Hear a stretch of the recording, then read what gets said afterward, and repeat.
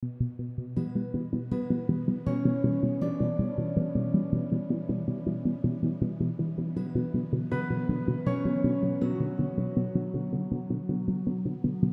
ty zápasy, samozřejmě potřebuješ nějaký fotbalový umění, potřebuješ organizaci, ale tady ty zápasy se vyhrávají vůlí, úsilím a nasazením kluci.